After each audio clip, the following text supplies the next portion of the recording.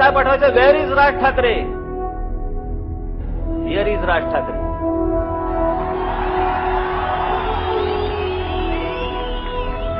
आणि हे जर संपवायचं असेल ना या सगळ्या गोष्टी या राज ठाकरेच्या हातामध्ये सत्ता देऊन बघा. परत कोणाची हिंमत होते का फक्त बघा तुम्ही.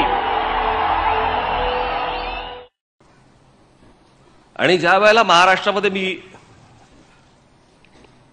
फिरत असायचो किंवा आजही फिरतो निवडणुका आल्या. आणि निवडणुका आल्यानंतर मग प्रत्येक ठिकाणी जाऊन प्रचार सभा घ्यायच्या जाहीर सभा घ्यायच्या आणि सगळीकडे जाऊन एकच गोष्ट सांगायची. वर्षानुवर्ष आपली तीच गोष्ट आपण सांगतो वर्षानुवर्ष सगळे राजकीय पक्ष त्याच गोष्टी सांगतायत. त्याच्यावरतीच निवडणुका होत आहेत आम्ही रस्ते देऊ आम्ही पाणी देऊ आम्ही वीज देऊ आम्ही नोकऱ्या देऊ.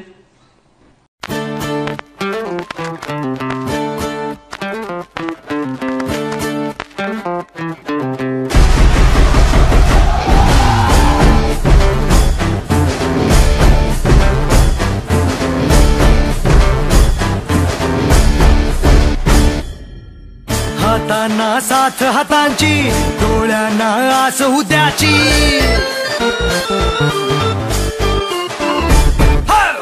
हातांना साथ हातांची डोळ्यांना आस उद्याची.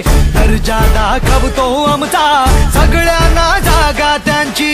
दिसते का अवती भवती आमच्या नावाची शक्ती. घुमतो जय घोष आमचा साऱ्यांच्या होठावर ही जान आम्ही. आम्ही अभिमान आम्ही धुमशान आम्ही लख लख तो आमच्या चेहऱ्यांनी हा माहोल सारा। बाकीचे सारे बाजूला भारे आला रे आला राजा। तुझे रे साधू आमच्या सुरात म्हण जिंदाबाद आता। बाकीचे सारे बाजूला भारे आला रे आला राजा। तुझे रे साधू आमच्या सुरात म्हण जिंदाबाद आता।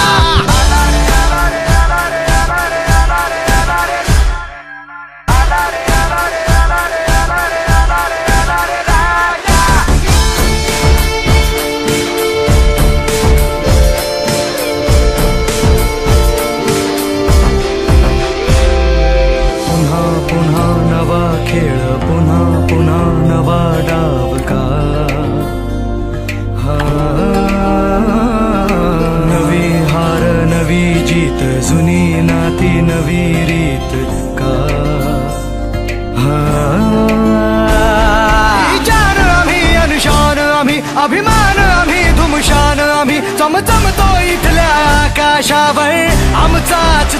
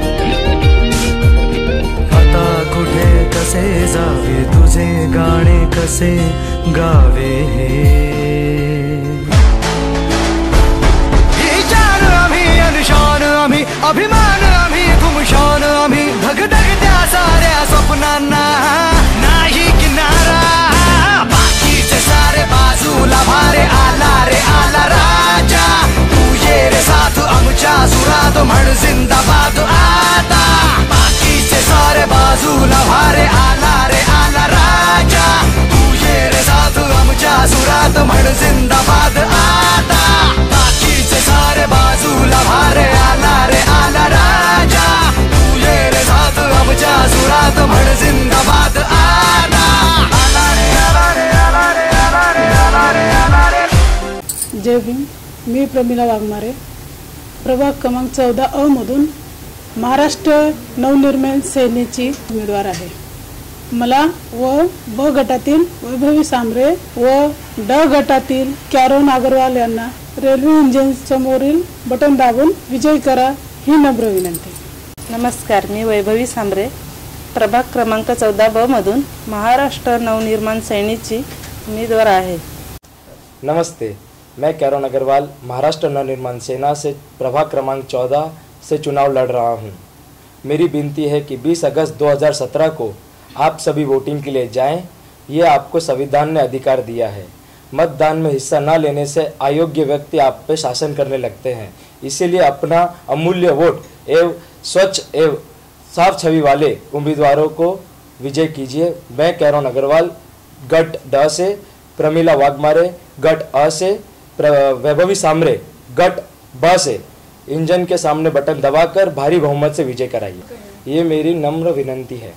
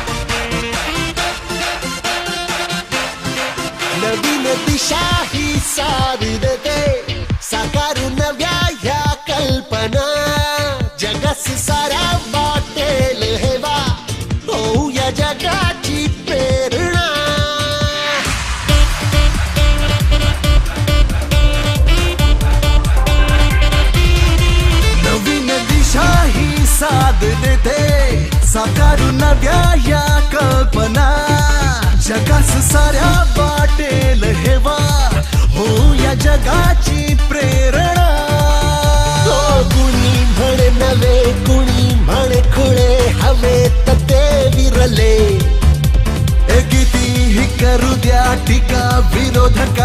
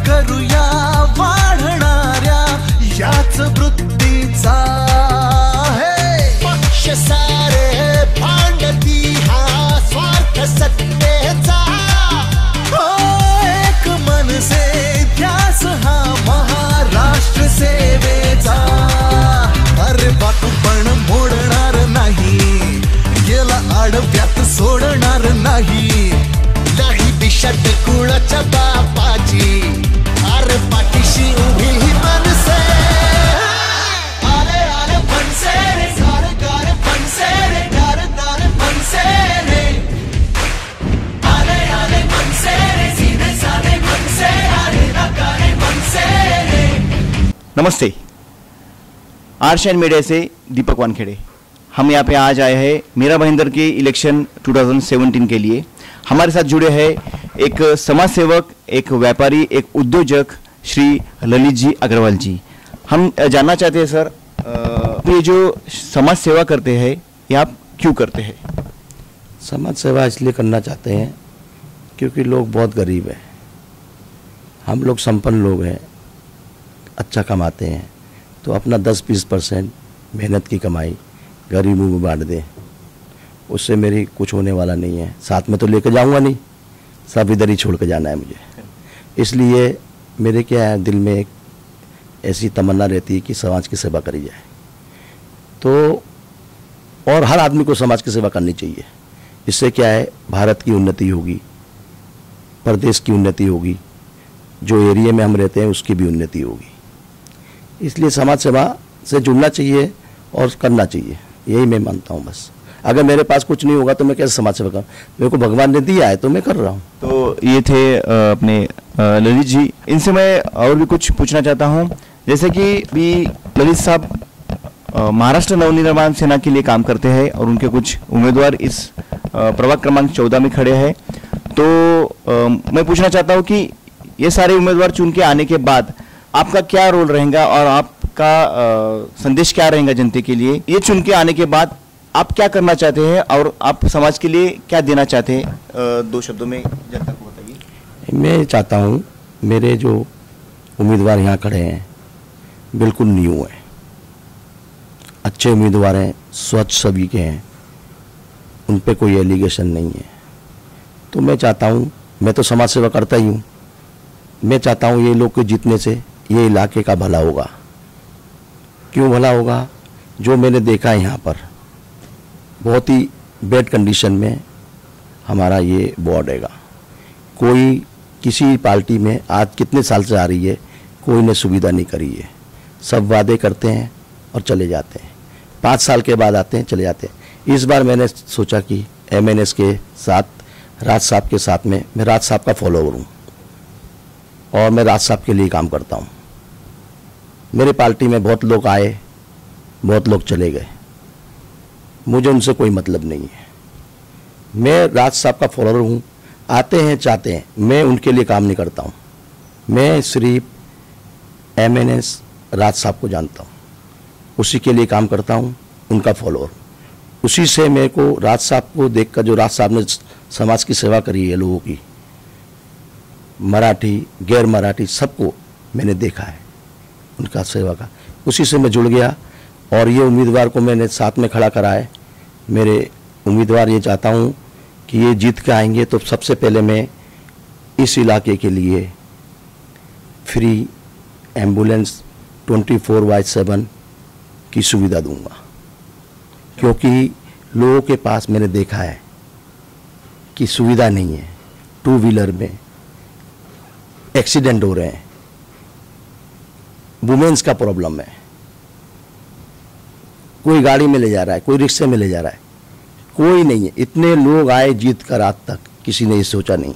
अगर सबसे पहले मेरे एमएनएस के कैंडिडेट जीतते हैं वे विद इन टू वीक्स में सबसे पहले एंबुलेंस दूँगा। Air condition ambulance with oxygen मेरी सोच ये है, शमशान बनाने वाली मेरी सोच नहीं है। मेरी सोच ये है कि जीवन दान दे दूँ। जब एंबुलेंस होगी, वो हॉस्पिटल जाएगा, उसका जीवन बच जाएगा, क्योंकि लाइफ वन टाइम मिलती है ज़िंदगी में। वो बच जाएगा तो उसको शमशान में जाने की ज़रूरत ही नहीं है। उसको हमारा काम है, पहले उसको बचाना है। जब वो उसको अच्छी सुविधा मिलेगी, हम फ्री सुविधा देंगे एंबुलेंस, और वो हॉस्पिटल हो जाता है तो बच जाएगा। और मेरे को शमशान में जाने की ज़रूरत नहीं है। तो यहाँ के जो लोग ये सोच है कि शमशान का उद्घाटन कर दो, मैं किसी को मारना नहीं चाहता हूँ। मैं बचाने में बिलीव करता हूँ। तो सबसे पहला मेरा एक ही योगदान रहेगा, ये वोट के लिए। Within two week free ambulance बस गिफ्ट में दूँगा।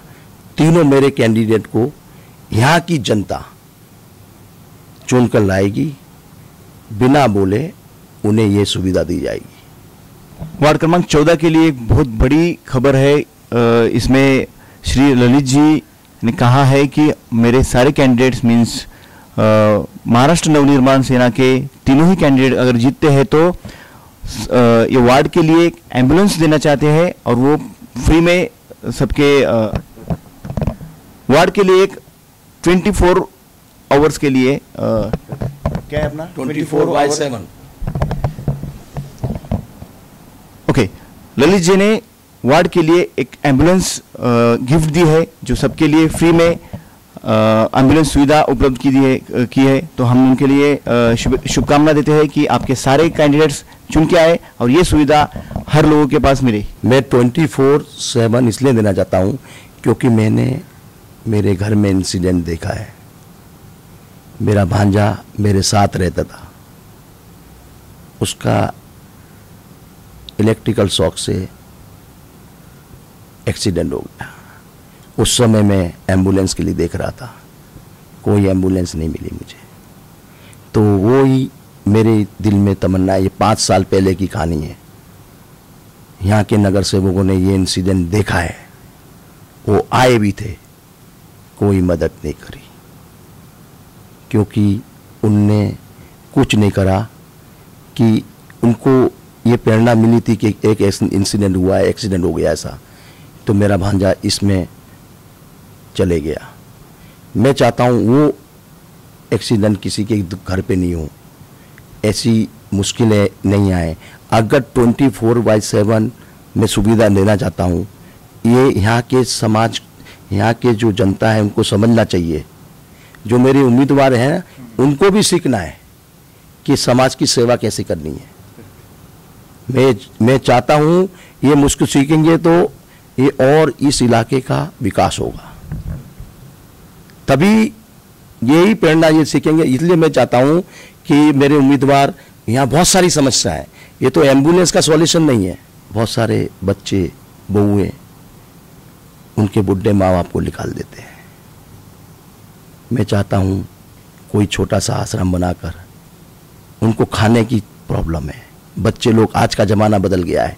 बच्चे निकाल, खाने का नहीं है। तो मैं एक सुविधा चालू करना चाहता हूँ यहाँ पर कि वो उधर आए, उनको दस रुपये में भरपेट भोजन मिले। इवन बुज़ुर्ग के लिए नहीं, जो गरीब है, बहुत लोगों को खाना नहीं है। यहाँ पानी की सुविधा नहीं है। पानी पीने का नहीं है लोगों के पास। कैसे जी रहे हैं? दूर दूर से एक एक दो दो किलोमीटर पानी लेकर आते हैं। शौचालय नहीं है। हमारे मोदी शौचालय की बात करते हैं। के के लोग यहीं पे रहते हैं। हमारे बीजेपी के लोग चुनकर आए हैं। दो दो नगर सेवक बीजेपी के थे। लोग, आप जाके देखो, महिलाएँ इंतज़ार करती हैं अंधेरे का। कब अंधेरा हो और हम सोच में जाएँ। यहाँ की परिस्थिति बड़ी बेकार है। चिल्लाने से कुछ नहीं होता है, कर कर दिखाना पड़ता है। ये पाँच साल ये आँख मीच कर बैठे रहे, कुछ नहीं करा है। आप अंधेरे में निकल जाओगे, देखो, महिलाओं के ऊपर क्या बीत रहा है। ये हमारे प्रधानमंत्री की सोच को ये इनके नगर सेवक हैं। जनता बहुत रूटी हुई है।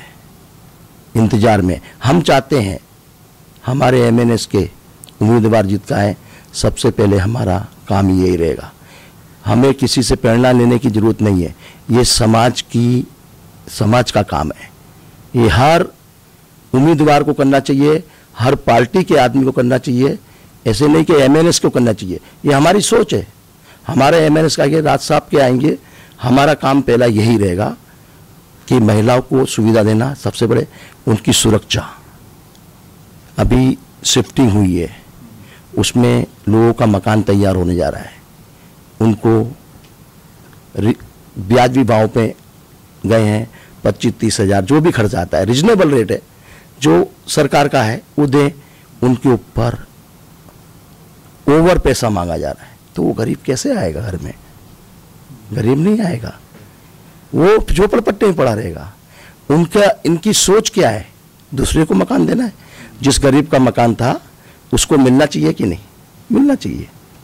ये हमारी सोच रहेगी। सबसे पहले जो गरीब शिफ्टिंग में गया है, उसको रिजनेबल रेट पे उसका मकान मिलना चाहिए। इसलिए ये हमारी पहली, हमारे उम्मीदवार को ये इस रास्ते में हम गाइडलाइन देंगे। हमारे उम्मीदवार पूरे नए हैं, कोई प्रॉब्लम नहीं है। इंजीनियर्स हैं, पढ़े लिखे हैं, पर हमारी पार्टी में दम है। हम ये कर सकते हैं और राज साहब करके दिखाएँगे। हमें राज साहब पे पूरा बिलीव है। चाहे मराठी हो, चाहे गैर मराठी हो, सबके साथ में, हम हर समाज के साथ में जुड़े हुए हैं। ट्वेंटी फोर बाय सेवन, ये राज साहब का सपना है। इसलिए मैं एमएनएस को लाइक करता हूँ और इसी पार्टी में दम है। ये कर कर दिखाने का।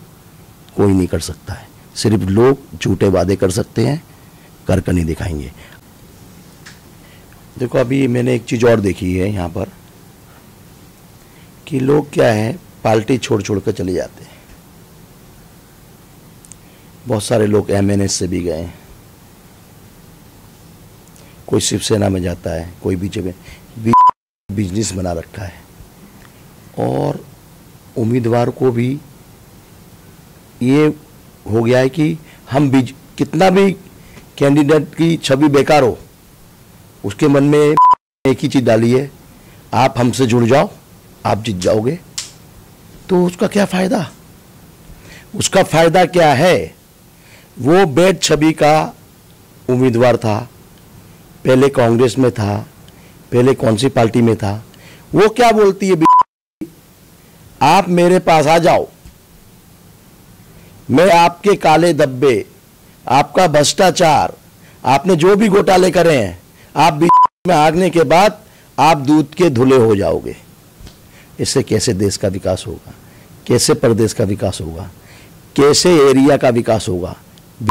की ये नीति देश को बर्बाद कर रही है। और मैं चाहता हूँ, जो पार्टी में है, कानून होना चाहिए हिंदुस्तान के अंदर जो पार्टी में जो आदमी जुड़ा है, जिसने गलत काम करा है, भ्रष्टाचार करा है तो उस उम्मीदवार को चाहे वो एमएलए हो, चाहे एमपी हो, नगर सेवक हो, एक बिज़नेस सेंटर खोल रखा है। आप मेरे यहाँ आ जाइए, आपके सब दाग धब्बे खत्म हो जाएँगे और गारंटी देती है गारंटी देती है कि आप के नीचे लड़ोगे, आपके पास कितना ही भ्रष्टाचार है, आप जीत जाओगे। और जीत जाओगे, फिर भ्रष्टाचार करो। देश को बर्बाद कर दो। गरीबों को कुछ नहीं मिलेगा। इसलिए मैं जनता से कहना चाहता हूँ, जनता को समझदार है और जनता को सोच समझ कर वोटिंग करनी है इस बार। मैं और सच्चा उम्मीदवार विदाउट एलिगेशन वाला जिस पे दाग धब्बा नहीं लगाओ। इवन उसके पीढ़ी पे भी दाग नहीं लगाओ ऐसे उम्मीदवार को चुनकर लाओ। उसमें सिर्फ़ आपको एमएनएस के ही उम्मीदवार मिलेंगे। मैंने ऐसे उम्मीदवार खड़े करे हैं कि किसी पे भी छवि पे दाग नहीं है। नए हैं। ये समाज की तड़प रहे हैं कि कब हम जीते और समाज की सेवा कर दें मेरे पास बहुत लोग आते हैं कि आप ललित भाई, समाज सेवक हो, हमसे जुड़ जाओ। आप पार्टी में दल बदलू नहीं हूँ। मैं कभी भी, चाहे मेरी पार्टी कितनी भी नीचे हो जाए, कितनी भी बढ़ जाए, चाहे मुझे कोई भी ऑफ़र करे मैं अपनी पार्टी एमएनएस को, राज साहब को नहीं छोड़ सकता। मैं उनको दिल से चाहता हूँ। जिस पार्टी में काम करता हूँ, उसी पार्टी को मैं चाहता हूँ। जब मैं दल बदलूँगा तो मेरा ईमान ही नहीं है। मैं क्या सेवा करूँगा पब्लिक की? जिससे मैं जुड़ा हूँ, उसी को पकड़ कर चलूँगा तो मैं सेवा कर सकता हूँ। पार्टी एक अपनी जगह पर है, और जो हमारा नेता है, राज साहब उनकी जो सोच है, जो वो चाहते हैं, वो सोच के हिसाब से हम जुड़े हुए हैं। इसलिए चाहे हमारी पार्टी में कितने भी सेनापति बदल जाए, कितने मैं उनके लिए काम नहीं करता हूँ, मैं राज साहब के लिए काम करता हूँ। और मैं तन मन धन से राज साहब के लिए काम करता रहूँगा। मैं एक संदेश देना चाहता हूँ कि जो पार्टी से जुड़े हो, चाहे कोई भी पार्टी जो, पार्टी को नहीं छोड़ो, वफादारी करो। वो पार्टी के साथ आप वफादारी करिए। जिसे मैं राज साहब से जुड़ा हूँ, मैं कभी पार्टी नहीं छोड़ूँगा। मुझे कोई नहीं खरीद सकता। और ये मेरी सोच है। ये मेरा संदेश है। इसको पार्टी छोड़कर ये बिज़नेस नहीं बनाइए। देश को बर्बाद नहीं करिए। और जो बड़ी बड़ी पार्टियाँ हैं उनके नेता लोग को भी सोचना चाहिए। जब वो भ्रष्टाचारी है, जब आप कांग्रेस भारत की बात करते हो कि ये भ्रष्टाचार कराए तो फिर आपका भी क्या वजूद है? वो तो आप में जब उसने उधर करा था घोटाला, आपने अपने में ले लिया तो काले पानी में कितना भी सफ़ेद मिलाओगे तो काला ही रहेगा। तो उसको मिलाने से आपकी पार्टी नहीं उठने बीजेपी का भला नहीं होगा। जब अच्छी होगी, तब भ्रष्टाचारियों को निकाल देगी। उनकी आज प्रेजेंट में दो दो उम्मीदवार, नगर सेवक के थे, यहाँ पर काम कर रहे थे। उनका काम देखो क्या है, कुछ काम नहीं करा है। उनकी आपस की फूट है अभी। एक नगर सेवक को दिया ही नहीं टिकट। वो खुद डर रही है। कि ये जीतेगा नहीं। ये जीतेगा नहीं क्योंकि उसने ऐसा कौन सा काम करा है? जब अच्छा काम करा है तो को देना चाहिए। को डर। पर उसको टिकट देने का मतलब ये नहीं है, आपके दूसरे उम्मीदवार अच्छे हो जाएँगे। पर आप पे जो दाग लगा है, वो दूसरे उम्मीदवार को उसका भुगतान ये जनता देगी। यहाँ की जनता बहुत समझदार है। उनको भुगतान देना पड़ेगा, जो आपने अपने नगर सेवक करे हैं। क्योंकि उन्होंने काम ही नहीं करा यहाँ पर। कोई काम ही नहीं हुआ यहाँ पर। बहुत बुरी स्थिति है यहाँ का।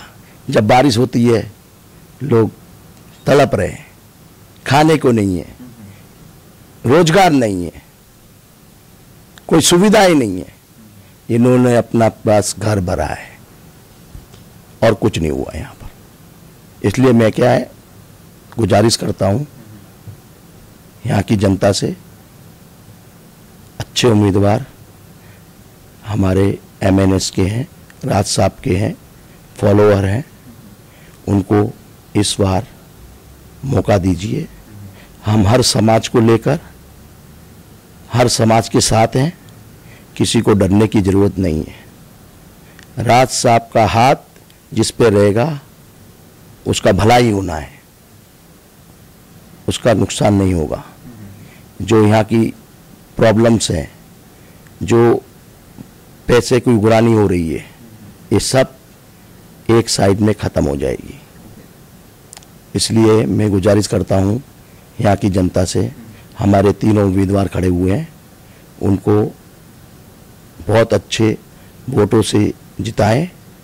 और समाज का कल्याण कराएं। नमस्कार। नमस्कार। आपल्यासोबत आहेत महाराष्ट्र नवनिर्माण सेनेचे अविनाश खेनी सर। अविनाश सर आम्ही असं ऐकलेलं की महाराष्ट्र नवनिर्माण सेनाची ज्यावेळेस स्थापना झाली त्यावेळेसपासून तुम्ही या पक्षामध्ये आहात आणि यामध्ये भरपूर बदल होत गेलेत बऱ्याच गोष्टी चेंजेस होत गेल्यात. पण तुम्ही अजूनही राजसाहेबांसोबत खंबीर उभे आहात. त्याचबरोबर या निवडणुकीमध्ये सुद्धा तुम्ही मोठ्या प्रमाणात प्रचारासाठी उभे आहात. त्याचबरोबर तुमच्यासोबत ललित साहेबांचाही तुम्हाला सपोर्ट आहे. हे सर्व करत असताना तुम्हाला काय वाटतं की जनतेचा कौल कसा असेल? बघा कसं आहे की मी विद्यार्थी सेना जेव्हापासून राजसाहेबांची होती तेव्हापासून मी त्यांच्याबरोबर काम करत होतो. नंतर मन महाराष्ट्र नवनिर्माण सेना त्यांनी स्थापन केली. मग आमचा कसं पक्ष वाढत गेला तसं आम्ही तसं काम करत गेलो या एरियामध्ये. आणि काम करता करता आमचे उमेदवारी उभे राहिले. उमेदवार उभे रा उभे राहिल्यानंतर जनतेला का कोणास काय कमी वाटली त्यामुळे आमचे उमेदवार दोन वेळा दोन तीन वेळा आले नाहीत. पण गेल्या वेळेस दुसऱ्या क्रमांकावर आमचे पक्ष आला होता. परंतु जनतेला विश्वास नसल्यामुळे कदाचित त्यांनी दिलं नसेल. वोटिंग तशी त्या प्रकारे झाली नाही. पण यावेळेस आम्हाला एक खंबीर नेतृत्व म्हणून ललितजी अग्रवाल आम्हाला भेटलेले आहेत. जे समाजसेवक आहेत. त्यांनी अशा प्रकारची उमेदवार उभे केलेले आहेत ज्यांचा ज म्हणजे ज्यांनी त्यांनी विश्वास जिंकलेला आहे जनतेचा. प्रभाग क्रमांक चौदामधून जे उमेदवार उभे केलेले आहेत ते नक्कीच निवडून येतील आणि राजसाहेबांची आणि आमच्या समाजसेवक ललितभाई अग्रवाल यांची इच्छा नक्कीच पूर्ण होईल. पूर्ण मीरा भाईंदर नगरपालिकेवर प्रभाव पडणार याची मी ग्वाही देतो. हा सगळा आपल्या विरोधातला खोटा प्रचार सगळा जो करतायत ना सुरू केलाय ना या लोकांनी? कारण त्याच्यात भाजप पुढे कारण पैसे आहेत त्यांच्याकडे. बाकी राजकीय पक्षांकडे पैसे नाहीत. मला आता बघायचंच आहे. उत्तर प्रदेश पंजाब मुंबई मुंबईतल्या तुमच्या मुंबई ठाणा पुणा नाशिक इतर सगळ्या महानगरपालिका गोवा. अजून कुठे आहे? जिल्हा परिषदा. मला बघायचंय आता भाजपवाले कुठून पैसे काढतात? एटीएम मधून काढतात? का कुठून पैसे काढणार आहेत? ह्यानी रगड पैसे कमवून ठेवले. या सगळ्या नोटबंदीच्या प्रकरणामध्ये जी बँकांमधनं जी कॅश बाहेर आली कोणाकडे गेली? यांच्याचकडे गेली.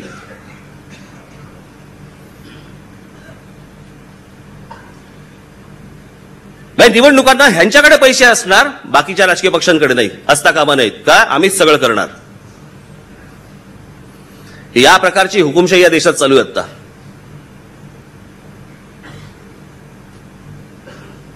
नोटबंदीच्या वेळेला कशी भाषण झाली होती मोदींची? त्या महिनाभरात काय काय बोलत होते? बघा जानेवारी पासून तुम्हाला दिसेल. एक तुम्हाला नवीन वर्षात नवीन भारत दिसेल. मी रोज खिडकीत बाहेर येऊन बघतो.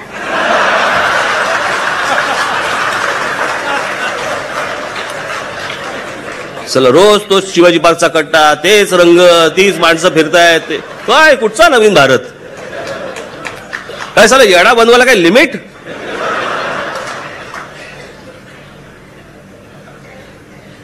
त्याच्यावर कोणी काय बोलणार नाही. राज ठाकरे भूमिका बदलतो. त्या आठ तारखेनंतर ज्यावेळेला नोटबंदी केल्यानंतर जवळपास छप्पन्न निर्णय बदलले भारतीय जनता पक्षाने मोदींनी.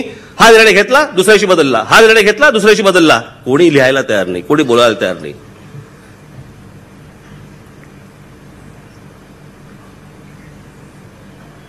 आज काही जण जे माझ्या विरोधामध्ये लिहितायत ठीक आहे लिहा. तुमच्या चुका तुम्हालाच कळतील. पण आज ज्यांच्या नादी लागताय त्यांच्या नादी लागून या राज्याचं काय वाटोळ होणार आहे या शहरांचं काय वाटोळ होणार आहे मला विचारता तो. राज ठाकरेकडनं काय होतं? आम्हाला खूप अपेक्षा होत्या पण त्या पूर्ण नाही झाल्या. दिलं काय हातात?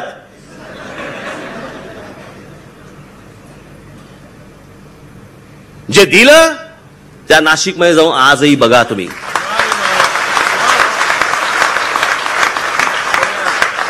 माझं आव्हान आहे की जे आपण पाच वर्षात केले ते ह्या लोकांनी पंचवीस वर्षात देखील केलेलं नाहीये. इतकं काम त्या नाशिकमध्ये झालेलं आहे.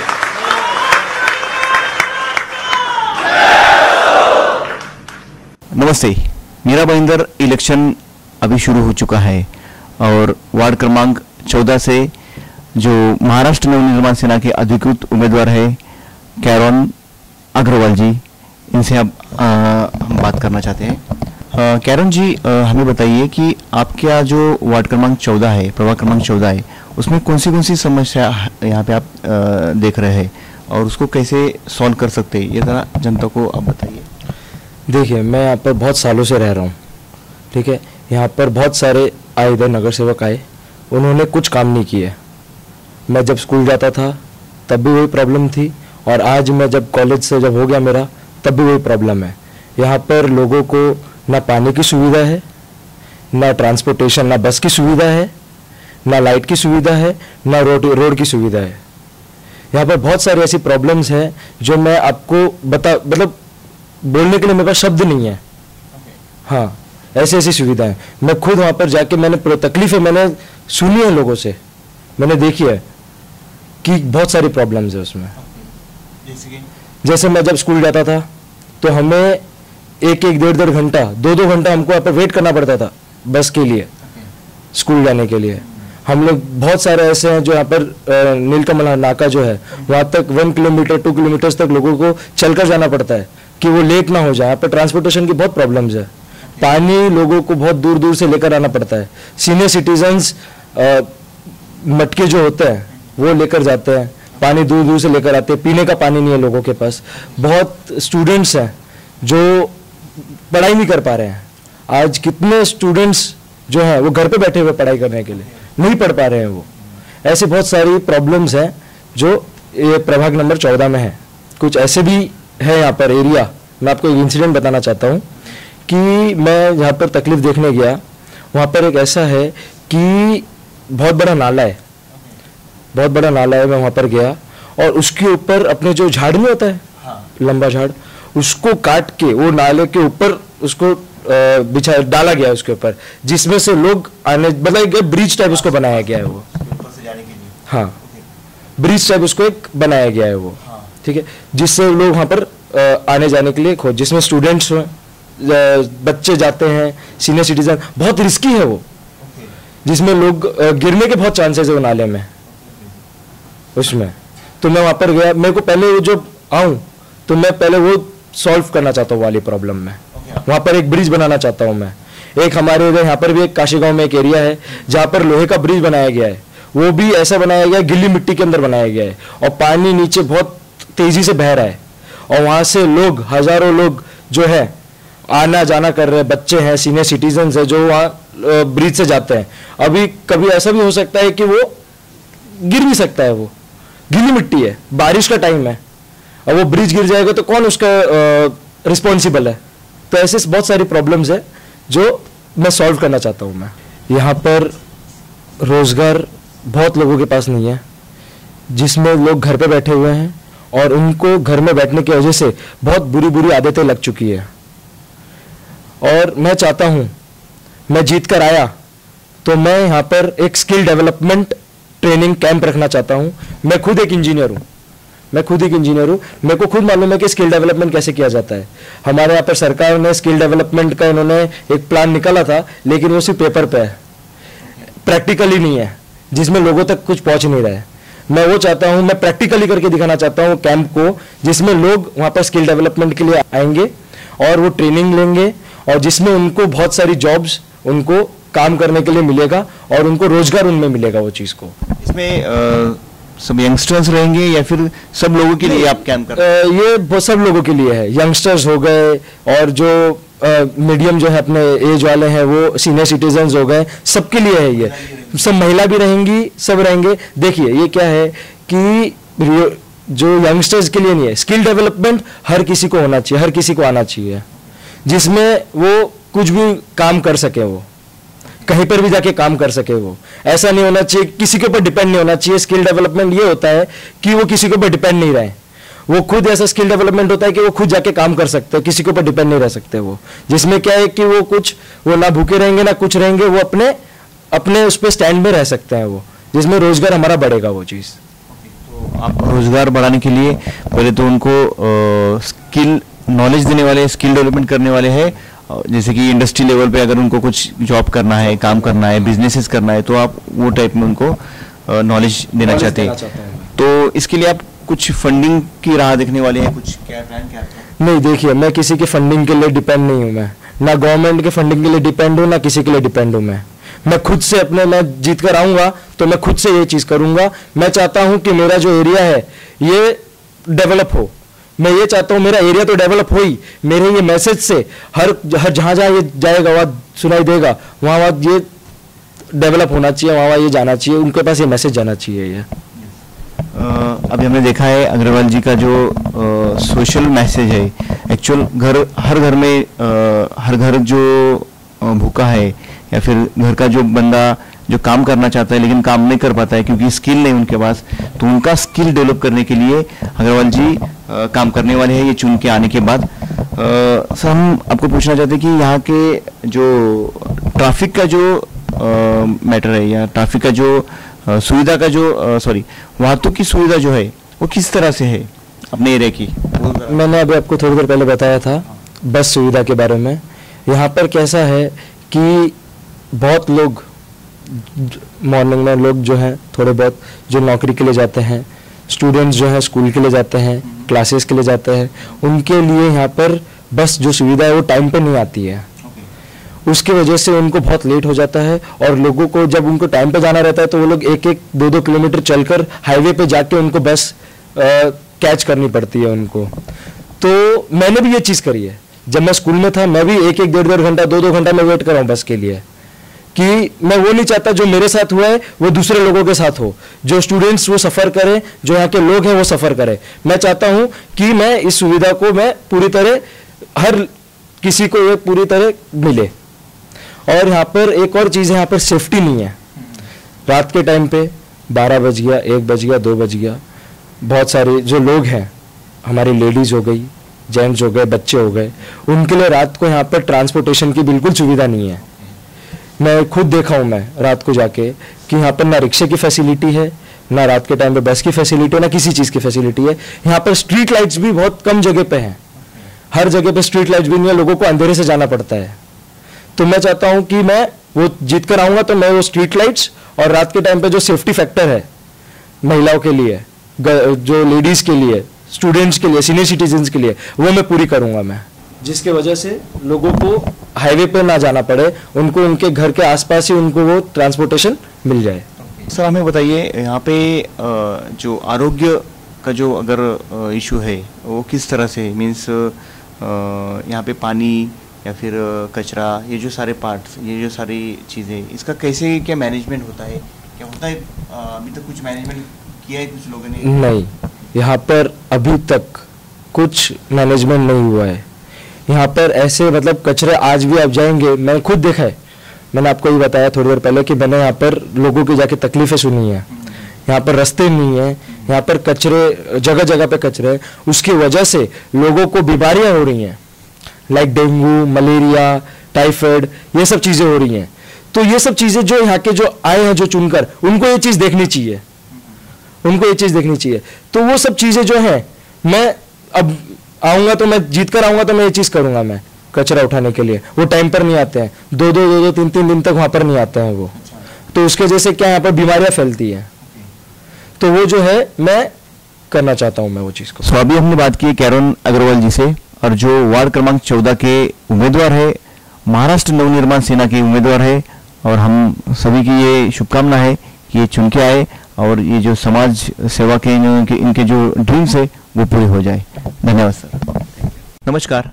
महाराष्ट्र नवनिर्माण सेनेच्या महिला कार्यकर्ता ज्या शहराच्या उपप्रमुख आहेत आणि त्या आपल्याकडे आता या- आज उपस्थित आहेत. मॅडम आम्हाला विचारायचं आहे की आता हे जे वार्ड क्रमांक चौदाचं जे इलेक्शन चालू आहे वार्ड क्रमांक चौदामध्ये जे उमेदवार उभे आहेत महाराष्ट्र नवनिर्माण सेनेचे यांना निवडून देण्यासाठी तुमचं संघर्ष कसं चालू आहे? आणि तुमच्या महिला मंडळाचं तुमच्या सोशल वर्कर जेवढे तुमची टीम आहे ते कशा पद्धतीने या तिघांना निवडून देण्यासाठी प्रयत्न करत आहात ते थोडक्यात आम्हाला समजून घ्यायचं आहे. प्रभाग प्रभाग क्रमांक चौदामधून आमचे तीन उमेदवार उभे आहेत. केरॉन अग्रवाल प्रमिलाताई वाघमारे आणि सांबरेताई. या तिघीजणी तिघंजणं आहेत. आणि आम्ही काय करतो आहे आमच्या महिला आमची जी मुलं आहेत आमच्याबरोबर तरुण मुलं आहेत प्रत्येक घराघरात जातो आहे प्रत्येक व्यक्तीला आम्ही राजसाहेबांचं महत्त्व सांगतो आहे म मनसेचं महत्त्व सांगतो आहे आमच्या विभागातली जी कामं नाही झाली आहेत ती आम्ही कशी करून घेणार आहोत हे सांगतो आहे आणि आम्हाला खूप छान रिस्पॉन्स मिळतो आहे आम्ही प्रत्येक घरात पोहोचतो आहे प्रत्येक व्यक्तीपर्यंत पोहोचतो आहे आणि प्रत्येक घरात आई असेल तर सांगतो आहे सगळ्यांना सांगा की आम्हाला वोट द्या. आणि खूप छान रिस्पॉन्स मिळतो आहे आम्हाला. हो. आणि या सर्व कामामध्ये तुम्हाला जे नेतृत्व लाभतं आहे श्री ललितजी अग्रवाल सरांचं. त्यांचंही संघर्ष तेवढंच तुम्ही तेवढंच संघर्ष त्यांचंही तुम्हाला मिळतंय लाभतंय या प्रचारामध्ये? ललितभाईंचं काय झालेलं राजसाहेबांवरती अचंड प्रचंड प्रेम असलेला माणूस आहे. मी जेव्हा त्यांना पहिली भेटले तेव्हाच मी बघितलं की एवढं प्रेम अग्रवाल समाज मारवाडी समाजाचा माणूस आणि इतकं प्रेम असलेला माणूस आहे. आणि ते आम आम्हाला भेटल्यापासून आम्हाला खूप होप आला आहे काम करायला. म्हणजे गेली अनेक वर्ष दहीहंडीच्या माध्यमातून आणि इतर खूप माध्यमातून त्याने खूप पाणी वाटप असो गरिबांना काही मदत असो त्यांच्याकडे आमचे वैभव केणी आहेत शाखाध्यक्ष होते आता विभागाध्यक्ष आहे ते धावत येतात आणि खूप मदत होते त्यांची. आणि ते भेटल्यापासून मला तर खूपच बाबा हुरूप आला आणि माझ्या महिलांना सुद्धा खूप हुरूप आलेलं आहे आणि असं वाटतंय की नाही इतकं पॉझिटिव्ह आम्ही झालेलो. आमच्या तीनही सीट आम्ही निवडून आणायचा प्रयत्न करतो. आणि येणारच. मला तर वाटतं आमच्या तीनही सीट येणारच निवडून. आणि माझ्या प्रभागात मा- माझ्या प्रभाग क्रमांक चौदामध्ये खूप कामं राहिलेली आहेत. ती मला करून घ्यायची आहेत माझ्या ह्या उ- विजयी उमेदवारांकडनं. नमस्कार. आपल्याकडे आज लक्ष्मी गाडेकर आलेल्या आहेत आणि त्या मनसेच्या महिला कार्यकर्त्या आहेत.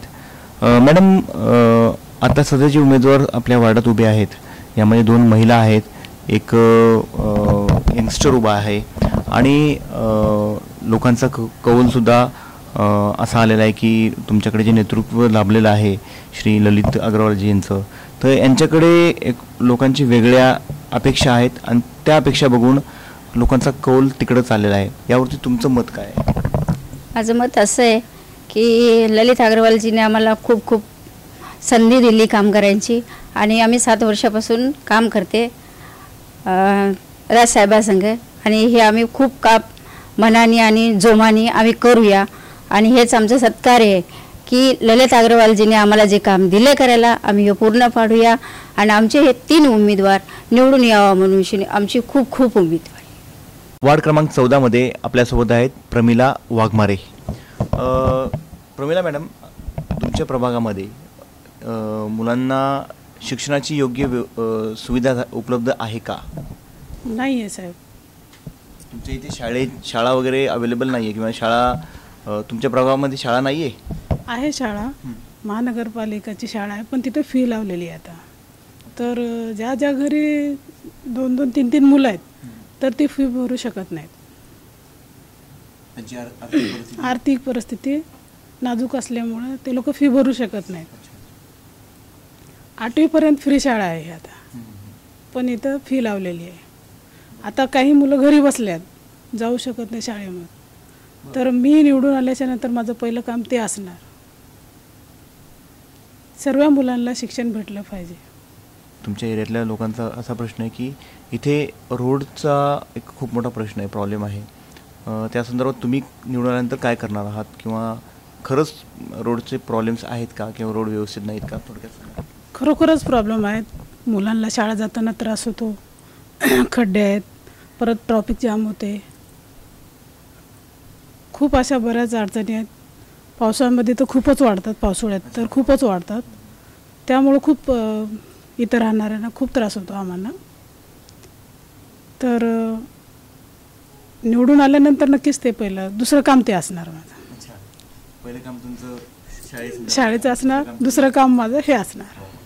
आणि अ, यामध्ये तुम्हाला तुमचे काही प्लॅन्स तुम्ही केलेले आहेत का काही? त्यामध्ये कशा पद्धतीनं काम करायचं आहे किंवा तुमचं पॅनल तुमच्यासोबत राहील वगैरे तुम्ही ग्रुपनं काम करणार? आहे आमचा ग्रुपच आहे. आम्ही एकमताने काम करणार. नमस्कार. आपल्यासोबत आहेत वैभव केणी. अ, वैभव केणी हे सर महाराष्ट्र नवनिर्माण सेनेसाठी पहिल्यापासून पासूनच कार्यरत आहेत. अ, वैभव सर आता जी निवडणूक लागलेली आहे यामध्ये श्री ललित अग्रवालजी यांचं नेतृत्व लाभलेलं आहे थोडक्यात. आणि असं एक वातावरण झालेलं आहे की त्यांच्या नेतृत्वामुळे एक वेगळी लहर एक वेगळा वेगळं वातावरण क्रिएट झालेलं आहे पूर्ण आपल्या एरियामध्ये. तर त्यांच्या नेतृत्वाबद्दल तुम्हाला काय बोलायचं आहे? मी फर्स्ट सांगू इच्छितो की सुरुवातीपासून जेव्हा महाराष्ट्र निर्माण सेना माझे बंधू अविनाश खिणे यांनी आणि पस्तीस कार्यकर्ते या महाराष्ट्र निर्माण सेनेत होते जेव्हा राजसाहेब पहिल्यांदाच मला वाटतं चिकनाका परिसरात आमच्यासोबत आवे होते आम्ही आम्हाला आठवतं ती गोष्ट की बाईकवरून आम्ही पुढपर्यंत वर्सवापर्यंत जो विभाग आहे तिथपर्यंत बाईकवरती गेलो होतो झेंडा घेऊन साहेबांचा. तेव्हा आठवतं आणि ती आमची सुरुवात होती. त्यानंतर त्या सुरुवातीला जोड म्हणून मग यांनी आमचे पैसे खर्च करून स्वतःचे अवि हा बॅनर लावायचा. मी या विभागात तसा नवीनच म्हणजे नवीनच होतो या कार्यक्षेत्रात. मला काही त्याचं ज्ञान नव्हतं. त्यांनी ती सुरुवात केली नंतर काही दहिंडीचे कार्यक्रम घेतले भरपूर कार्यक्रम. नंतर आम्हाला एक असं नेतृत्व भेटलं श्री ललितजी अग्रवाल. हे नेतृत्व खंबीरपणे आधी आमच्या पाठीमागे एक आमचं बॅकबोन पाठीच्या मणक्याचा कणा जो बोलतात तो आज होऊन उभा आहे. त्यांनी आम्हाला दोन हजार दहापासून आज त्यांनी सुरुवात जी केली आमच्याबरोबर त्याच्यानंतर सर्वात मीरा भाईंदरमध्ये आठ बाय ऐंशीचा सर्वात मोठा बॅनर लागला. त्यानंतर सर्वात पक्षांनी त्याची रिपीट केलं. म्हणजे तर ललित अग्रवाल यांनी खूप मोठं असं काही भरपूर कार्य केलेले आहेत. ललितजी अग्रवाल हे आमचं मातीचा मणका बॅकबोन हे आम्हाला म्हणावं लागेल. प्रभाग क्रमांक पूर्वी आमचा सत्तेचाळीस होता. आता हा प्रभाग बनून चौदा झाला आहे निवडणुकीला. त्यांनी एक स्वप्न बघितलं होतं की वैभव आपल्याला सर्वांना घेऊन सांगितलं होतं की वैभव आपल्याला एक नगरसेवक निवडायचा आहे. आपल्याला एक इकडचं नेतृत्व बनायचं आहे. ते नेतृत्व आपल्याला पूर्ण राजसाहेबांपर्यंत न्यायचं आहे राजसाहेबांचं आमचं एक स्वप्न आहे की मीरा भाईंदरमधून काही असे नगरसेवक निघतील आणि ते पुढपर्यंत काही कार्य करतील किंवा नगरपालिकेत जातील. पण आमचं ललितजींचं स्वप्न असं आहे की आम्हाला इथून ह्या कोण या ज्या म प्रभाग चौदामधून जे पूर्ण थेट महाराष्ट्र काबीज करायचं आहे असं आमच्या ललितजींचं स्वप्न आहे. आणि ते स्वप्न आज हे आमचे तिन्ही उमेदवार आहेत. प्रमिला वाघमारे कॅरॉन अग्रवाल आणि वैभवी सांबरे आमचे जे बॅकबोन ललितजी अग्रवाल यांची मेहनत जी आज अडीच महिन्यापासून सुरू आहे, ती आता खूपच ते जनतेद्वारे दिसते की जे प्रोत्साहन आम्हाला भेटतं ते प्रोत्साहन आम्हाला खूप पुढेपर्यंत नेतं आहे आणि प्रोत्साहन जनतेचं मिळेल आम्हाला अशी इच्छा करतो. आणि ललितजींचं स्वप्न आणि राजसाहेबांचं स्वप्न हे कृतीत आणू, हेच आम्ही लोकांपर्यंत सांगतो की तेच एकदा साकार करण्याची संधी द्या. नमस्कार. नमस्कार. वार्ड क्रमांक चौदामध्ये आपल्यासोबत आहेत वैभवी सांबरे मॅडम. मॅडम एक महिला उमेदवार तुम्ही आहात आणि ॲज अ महिला बऱ्यापैकी सगळेच प्रॉब्लेम महिलांना माहीत असतात. आपल्या सोसायटीमधले आपल्या घरामधले आपल्या वार्डामधले आपल्या नगरामधले. आम्ही ज्यावेळेस माहिती काढली त्यावेळेस कळालं की पाणी हा प्रश्न तिथेसुद्धा तुमच्या एरियामध्ये सुद्धा उद्भवतो आहे तर कशा प्रकारे तुम्ही पाणी प्रश्न अ, ला तुम्ही सामोरे जाताय किंवा पाणी प्रश्न तुम्ही कसा फेस करतायत हे थोडक्यात जनतेला सांगायचं आहे आपल्याला. आमच्याकडे पाणीच नाही आम्ही टँकर मागवतो. अच्छा तुमच्याकडे नळच नाही थोडक्यात? पाईपलाईन पाईपलाईन्स नाही. पाईपलाईन्स नाही आहेत आमच्याकडे. मग पाणी कशा पद्धतीनं येतं थोडंसं आम्हाला व्यवस्थित सांगा जरा. कशा पद्धतीने तुमचं मग पूर्ण वार्ड जो आहे तो वार्ड कशा प्रकारे पाणी कुठून पितं पाणी? टँकर बोलवतो आम्ही. ओके. हां आणि त्याच्यामधलं पाणी कधी कोणाला भेटतं कधी नाही भेटत? म्हणजे टँकर तुम्ही पर्सनली बोलवता का कुठून येतो महानगरपालिकेतून मागवतो आम्ही. आणि ते फक्त पिण्यासाठी असतं. आणि दुसरं यूज करण्यासाठी नसतं. ते आम्हाला विकत घ्यावं लागतं. म्हणजे जे पाणी आपण जे अ, सांडपाणी म्हणून वापरतो आंघोळीसाठी वापरतो वगैरे धुण्यासाठी वापरतो ते पाणी तुम्हाला विकत घ्यावं लागतं तुमच्या वार्डामध्ये? ओके. आणि पिण्याचं पाणी ते टँकरचं नगर. सर्वांना पुरेसं आहे? नाही. ते हप्त्यात एकदाच येतं आठवड्यात. बरोबर हां. आणि सर्वांना मिळतं ते पाणी? नाही मिळत. कोणी घरी असेल त्यालाच मिळेल बाकी कोणाला मिळत नाही. आणि त्याच्यासाठी सुद्धा आम्हाला लाईन लावावी लागते. कुठे महिला कामावरती गेल्या त्यांना पाणी नाही मिळत. मग आता तुम्ही निवडून आल्यानंतर तुम्ही तुमचं सर्वात पहिलं काय उद्देश असेल? किंवा तुम्हाला सर्वात पहिले तुमचं काय काम असेल या नगरवासियांसाठी? कारण जर हे तुम्हाला निवडून देत असेल तर तुमचं काय कर्तव्य राहील? थोडक्यात सांगा जरा. मी पहिला पाण्याचाच प्रॉब्लेम सॉल्व्ह करणार आहे. मी पाईपलाईनद्वारा सगळ्यांच्या घरी पाणी पोचवेन. ओके आणि अ, हा तर झाला पाण्याचा प्रश्न. आणि त्या पाण्याच्या प्रश्नावरती मॅडमने आपल्याला सांगितलं की पाईपलाईनद्वारा ते सगळ्या अ, जनतेपर्यंत पाणी पोहोचवतील. सर्वात पहिलं काम निवडून आल्यानंतर त्या हेच करणार आहेत असं त्यांनी या ठिकाणी ग्वाही दिलेली आहे. मला एक विचारायचं आहे मॅडम या व्यतिरिक्त कुठले प्रॉब्लेम्स आहेत तुमच्या प्रभागामध्ये? आमच्या इथे कचऱ्याचे डबे नाहीत आणि कचरा कुठे पण टाकतात. कचऱ्यामुळे रोगराई वाढलेली आहे आणि मी निवडून आल्यानंतर प्रत्येक जागेवरती कचरा कुंडी ठेवणार आहे. नमस्कार. आपल्यासोबत आहेत विजय सांबरे सर. गेल्या पाच वर्षापासून महाराष्ट्र नवनिर्माण सेनेसाठी ते कार्यरत आहेत. विजय सर आत्ता जे निवडणूक लागलेलं आहे, त्यासाठी महाराष्ट्र नि नवनिर्माण सेनेने आदिवासी समाजामधून एक उमेदवार दिलेला आहे या प्रभागासाठी. तुम्हाला काय वाटतं की तुमच्या समाजातले व इतर समाजातले लोक या निवडणुकीमध्ये यांना पाठिंबा कशा प्रकारे देतील आणि सर्व समाजांनी मिळून कशा पद्धतीनं निवडून देतील, नेतृत्व कोणाचं कशा पद्धतीनं काम आहे हे थोडक्यात सांगा. आणि मी गेली म्हणजे पाच वर्ष वैभव दादा च्या बरोबर आणि ललितजी अगरवाल बरोबर काम करतोय. तर ही जी यावेळेसची आम्हाला संधी मिळालेली आहे आदिवासी समाजातली जी एस टीची सीट आम्हाला मिळालेली आहे तर ती म्हणजे खूपच आमच्यासाठी खूप चांगली आहे.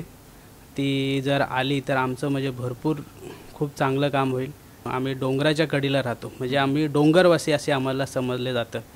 डोंगरातले रक्षण करणारे म्हणजे डोंगरवासी पूर्ण आयुर्वेदिक जो आहे तो आमच्याकडूनच म्हणजे मोस्टली त्याचं वापर केलेला आहे लोकांनी म्हणजे आम्ही दिलेला आहे. तर ही सीट आम्हाला खूपच चांगली आहे आणि आमचे लोक म्हणजे पूर्ण आम्हाला बहुमताने विजय करतील असा मला खूप विश्वास वाटतो. आमचा समाज सगळ्यांना घेऊन चाललेला समाज आहे.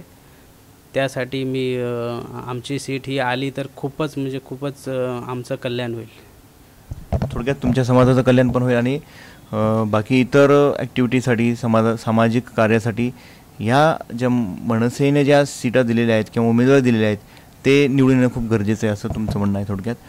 त्याचबरोबर तुम्हाला जे नेतृत्व लाभलेलं आहे अ, त्यांचं कार्य कसं आहे? ते कशा पद्धतीनं पूर्ण प्रभागामध्ये काम करतायत? आपले तुमचं नेतृत्व म्हणजे श्री ललितजी अग्रवाल हे कशा पद्धतीनं काम करतायत? आणि त्यांना कितपत यश मिळेल? त्याबद्दल थोडक्यात सांगा. ललितजी अगरवालजी जे समाजसेवक आहेत ते म्हणजे खूपच चांगली सेवा त्यांनी ते क करत आलेले आहेत. त्याचा म्हणजे खूपच चांगला आमच्या या तिन्ही उमेदवारांना फ़ायदा होईल. आणि ते बहुमताने जिंकून येतील अशीच मी गा ग्वाही देतो.